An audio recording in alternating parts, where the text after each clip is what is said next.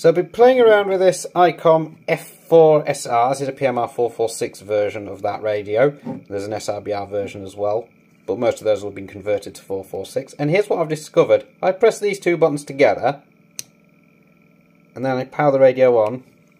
The radio goes into a self-test, and the display suggests there's frequency endings on it, a duplex option on some radios, and a low power option on some radios as well.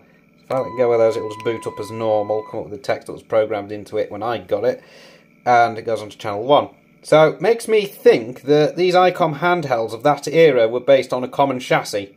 I've had a look at the service manual for this radio, and it suggests there's other key positions on the board inside. I've not taken this radio apart, I don't really have any intention of doing that.